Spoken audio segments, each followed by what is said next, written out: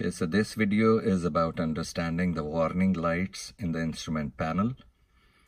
This place where you see the uh, indication for speed and another meter, fuel and water temperature, this is called the instrument panel. So the important part is, first of all, let's start looking at the temperature gauge, which is this one.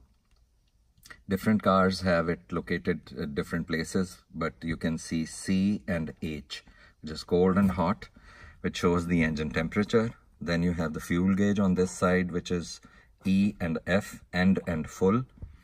This gauge, this one is called the speedometer. And this one is called the tachometer.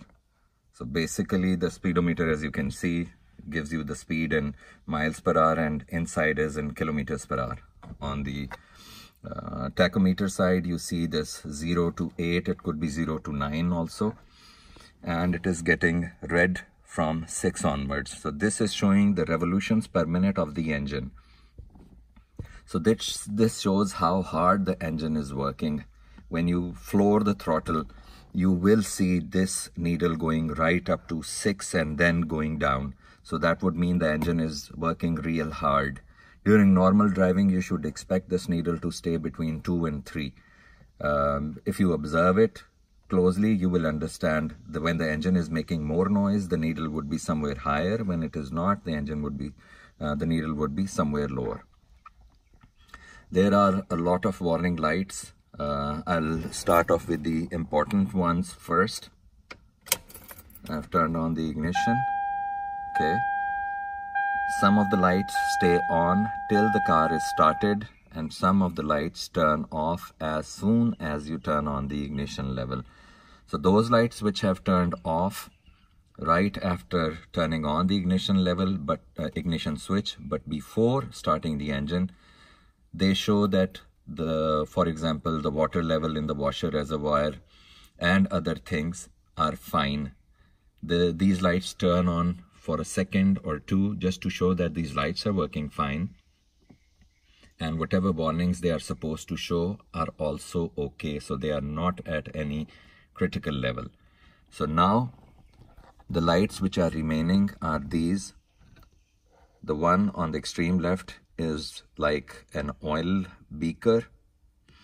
So this one shows the engine oil level. Right next to it is battery which shows the if the battery is being charged and on the extreme right this orange light is check engine. If this light comes on you have to take the car to a uh, to the dealership or any other workshop to have it checked and fixed.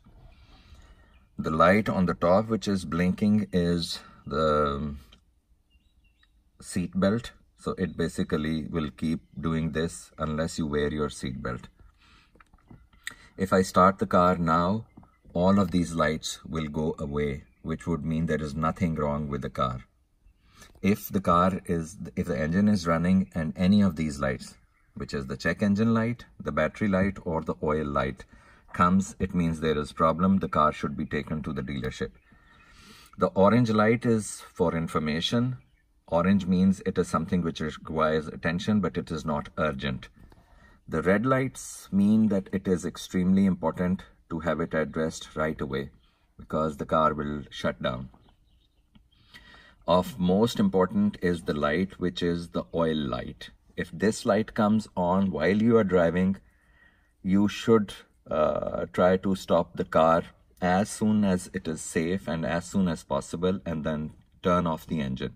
Even a few seconds of running the engine when this light is coming on can damage the engine severely. So you will have severe uh, repair uh, problems later on.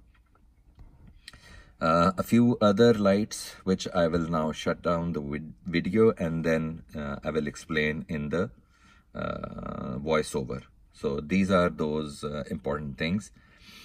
as you can see in the middle, this one is the shift indicator which shows which position the shift lever is in and this one is the odometer which basically is showing how many miles the car has driven what is the outside temperature and so forth so the display might be different for different cars but the information is mostly the same Uh, if you have any questions, please do uh, mention in the comments and I'll try to answer those. Thanks.